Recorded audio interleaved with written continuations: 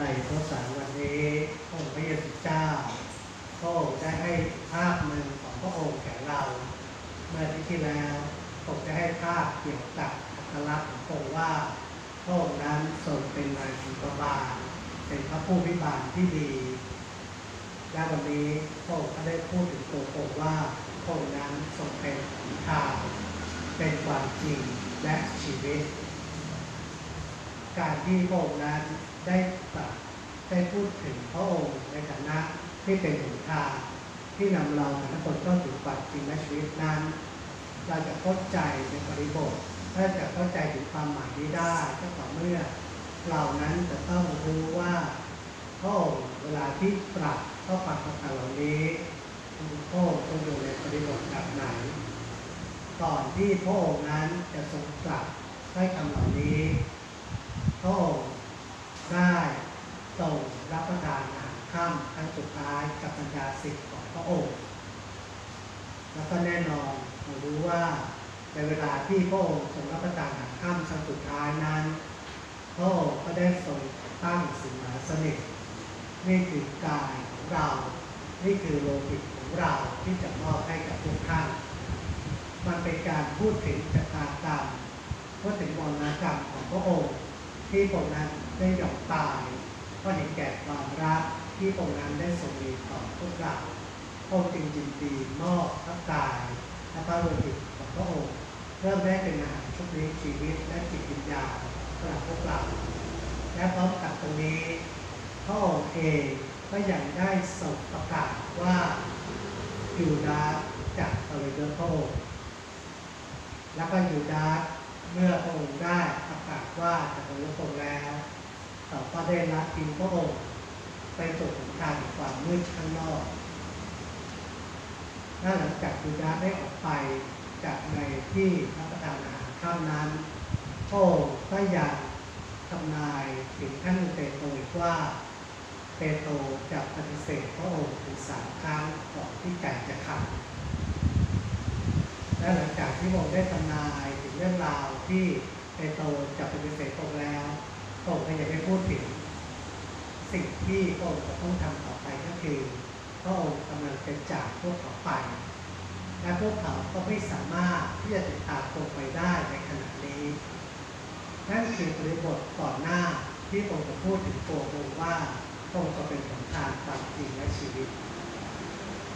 แน่นอนเวลาที่สิทธิ์ขององค์พระเยซูเจ้า ได้ยินได้ฟังเรื่องที่พระเยซูเจ้าได้พูดทั้งหมดตรงนี้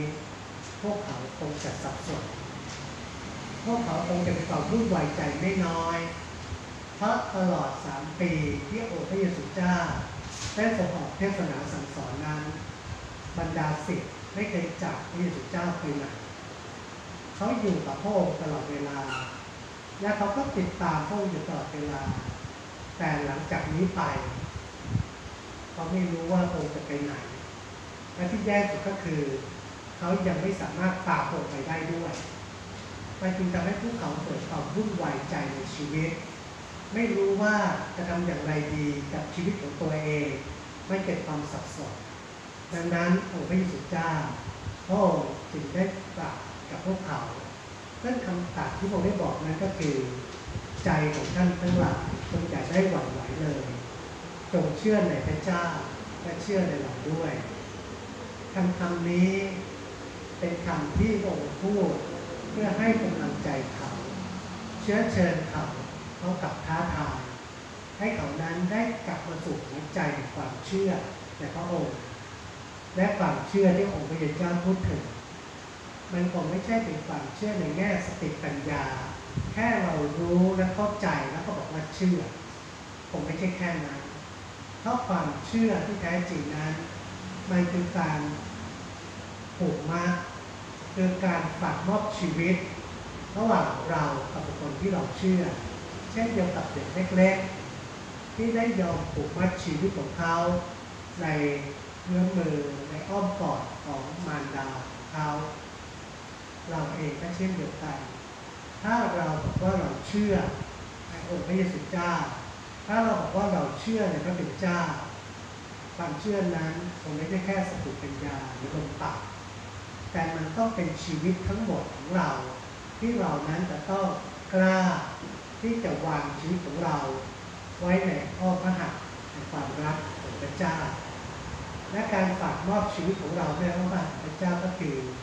การที่เราแต่ละคนนั้น จะต้องเดินอยู่ในหนทางของความรักของพระองค์ และนี่คือเจตนาลมณ์ที่พระเจ้าได้พูดถึงตัวผมว่าพระองค์ทรงเป็น เป็นหนทางที่นำเราแต่ละคนนั้น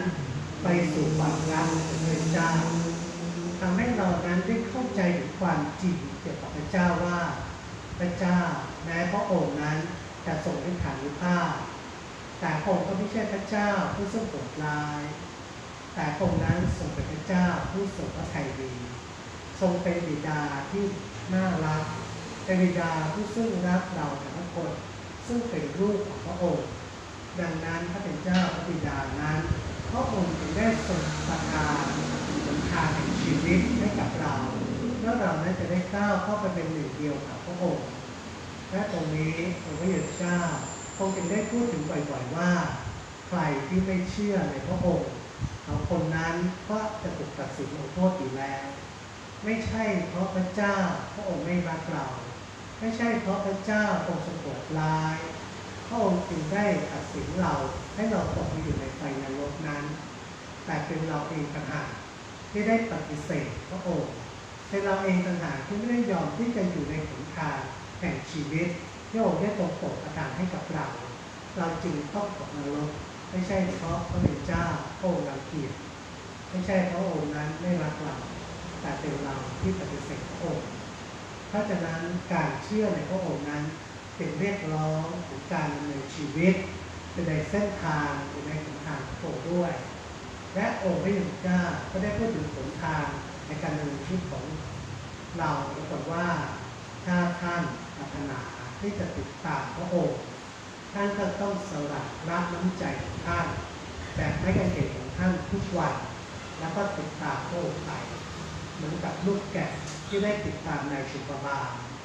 ลูกแกะที่มองเห็นถึงหนทางที่นายชุปบาลนั้น ได้ก้าวเดินไปก่อนหน้า และเขาก็เดินตามด้วยความมั่นใจว่าเขาจะพบถึงความมั่นคงและปลอดภัยเพราะเขาอยู่ในหนทางเดียวกันกับที่นายชุปบาลนั้นได้เดิน และโอ้พระเยซูเจ้าพระองค์ก็ได้เดินในหนทางความรอดนี้มาก่อนหน้าเราแล้ว และพระองค์เองก็เชื้อเชิญให้เราแต่ละคนนั้นได้เดินในทางเดียวกันกับพระองค์ ดังนั้นพระองค์จึงได้บอกว่า ถ้าท่านได้ปฏิบัติตนตามคำสั่งสอนของพระองค์คนทั้งหลายก็จะรู้ว่าท่านคือสิทธิ์ของพระองค์นี่คือสิ่งที่พระเจ้าได้ตอกย้ำความมั่นใจในสู่สิทธิ์ของพระองค์ว่า ถ้าเขาทำแบบนี้ คนอื่นๆก็จะรับรู้ว่าเขาคือสิทธิ์ของพระองค์ด้วยและการเป็นคริสชนจึงไม่ได้หมายความว่า เราได้แค่รับถึงล้านบาทและเป็นคริสชน แต่เราจะต้องปฏิบัติตนตามพระธรรมคำสอนของพระองค์ด้วย มันเป็นการฝากมอบชีวิต และเป็นการเดินในหนทางแห่งชีวิตที่พระองค์นั้นได้ส่งมอบให้กับเรา เราจึงจะสามารถที่จะประกาศตนว่าเป็นสิทธิ์ขององค์พระเยซูเจ้าได้ด้านที่น่าสนใจที่สุดในพระสารในวันนี้ที่พ่อไม่อยากให้เรานั้นผ่านไปอย่างเร็วๆนั่นก็คือ คำที่เดียเจ้าได้ทรงบอกว่า เราอยู่ในพระบิดา และพระบิดาก็ทรงอยู่ในเราคำคำนี้เป็นคำที่รวมเรื่องราวเกี่ยวกับเทวศาสตร์องค์พระเจ้าทั้งหมด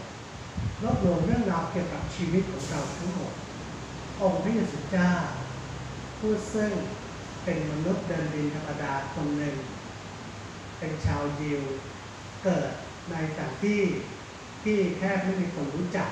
ในจุดทำนิสัยพระองค์ทรงมีเพื่อนนั้นอย่างที่เราหลายคนมีพระองค์ทรงเป็นคนสุภาพของตนพระองค์นั้นทรงต้อนรับทุกคนที่ต้องการความช่วยเหลือจากพระองค์ทรงพร้อมที่จะหยุดยื่นความช่วยเหลือจากคนอื่น และพระองค์เอง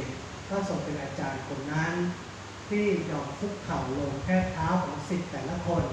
แล้วก็ล้างเท้าเขาเพื่อมอบแบบฉบับแห่งความรักและเมตตาเพื่อจะบอกเขาว่า เราผู้ซึ่งเป็นพระเจ้า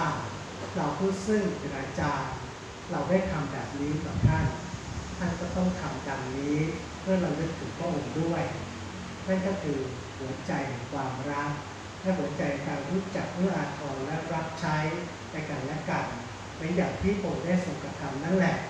มันก็จะนำเราเข้าสู่พระพรสันสุขของพระเจ้า เมื่อองค์พระเยซูเจ้าได้บอกเราว่า พระองค์ทรงอยู่ในพระเป็นเจ้าพระบิดา และเราแต่ละคนผู้ซึ่งได้รับสิ่งนั้นมาเราก็เป็นหนึ่งเดียวกับองค์พระเยซูเจ้าด้วย เพราะฉะนั้นเราเองก็จะต้องเป็นหนึ่งเดียวกับพระเป็นเจ้า พระบิดาได้เช่นเดียวกัน คุณพ่อมาบอกว่าพ่อไม่อยากให้เราผ่านตรงนี้ ว่าพระองค์กับพระบิดาเป็นหนึ่งเดียวกัน เรากับพระเจ้าพระบิดาก็ต้องเป็นหนึ่งเดียวกัน เพราะเราคือสิ่งติดตามองค์พระเยซูเจ้า เพราะเราซึ่งได้ชื่อว่าเป็นคริสตชนนั้น เราต้องเดินในหนทางความรัก เช่นเดียวกับพระเจ้าพระบิดานั้นส่งมอบหมายให้กับเรา และถ้าเราทำเรื่องราวต่างๆเหล่านี้ได้ เราก็จะพบถึงเรื่องราวเกี่ยวกับชีวิต พระองค์ก็จะเติมเต็มความหวังและกำลังใจให้กับเรา สิ่งดีๆก็จะเกิดขึ้นในชีวิตนั้นการที่องค์พระเจ้าได้ทรงเชิญว่า จงอย่าได้หวั่นไหวจงอย่าได้กลัวในเรื่องราวต่างๆเหล่านั้น เพราะเรามีพระเป็นเจ้าเป็นหลักที่เดี่ยวที่แท้จริงในชีวิตของเราทุกคน